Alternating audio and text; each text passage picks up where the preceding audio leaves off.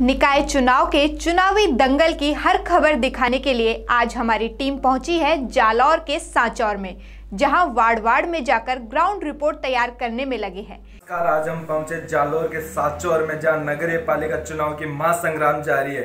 यहाँ पे बीजेपी प्रत्याशी संतोष जी से जानेंगे उनके किन किन मुद्दों के साथ चुनावी मैदान में है। नमस्कार मैं संतोष पुरोहित वार्ड नंबर दस की बीजेपी उम्मीदवार हूँ। हम पूर्वोत्तर बीजेपी सीट निकाल निकालकर बीजेपी का नगर पालिका का बोर्ड बनाएँगे। हमारे वार्ड में सबसे ज़्यादा एसटीसी वर्ग के हैं, उनके सबसे ज़्यादा शौचालय की प्रॉब्लम है। हम उनको सॉल्व करेंगे। मोदी जी द्वारा जो भी योजना है, वार्डवासियों का लाभ दिलाएँगे। मैं आगे बढ़ना चाहती हूँ। मुझे सपोर्ट करें। धन्यवाद।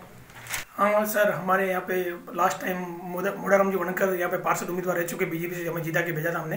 और उन्होंने अच्छा बहुत अच्छा वार्ड में काम करवाया है। और जो उनसे नहीं हो पाया है वो पूर्णतः हम बोल रहे हैं कि इस बार हम जीतने के बाद फ़र्स्ट हम वही कार्य का जो अधूरे पड़े हैं वो कार्य पूरे करेंगे।